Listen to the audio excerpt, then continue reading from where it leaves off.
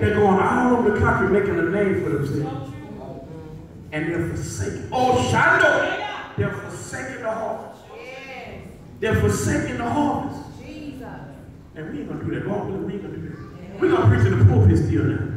But we're gonna go to the harvest church. We're going to the harvest.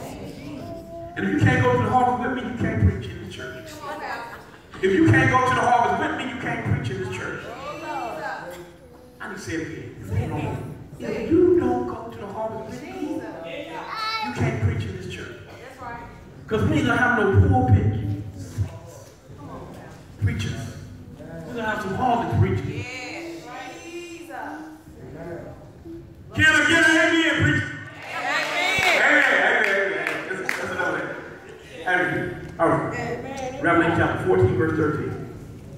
How many of y'all want to go to the harvest and raise your hand? To the harvest, amen. It's time to go to the harvest. We last preacher, y'all went down. Because we're going to plant some seeds. Let me let y'all know something. And if you don't go to harvest on a certain day, you can't make it. You go to your job and plant some seeds. That's right. Invite folks out to church. I. Now, I'll, most times don't come out I invite them out. That's right. It is not my job to figure out whether or not you're coming out to church. I'm just going to invite you. That's right. Amen. That's it. When you in Walmart, you see somebody you walk, what you want to do? Tell them about Jesus or whatever, or invite them out to church, right? Because they come out to church, we going to show them. How many of y'all preachers going to tell them about Jesus? Amen. How many of y'all going to tell them they need to repent? How many of y'all going to tell them they need to be baptized in Jesus' name? How many of y'all going to tell them they need the Holy Ghost? That tongue talking Holy Ghost. That walking right Holy Ghost. That living right. You're going to do it, right? We're done.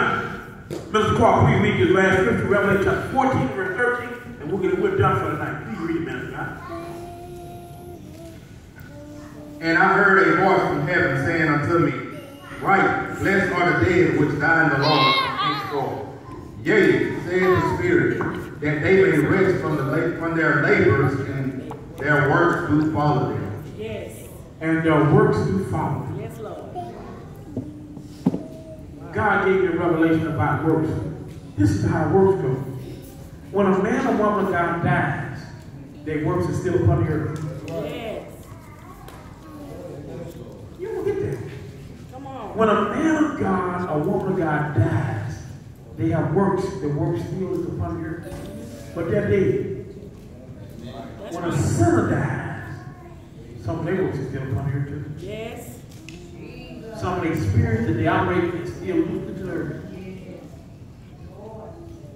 And the Bible says your works to follow. That's right. See, that's why you got sow the right seed. right. Because your works are going to follow you to judgment. I'll be my heart. God, we thank you.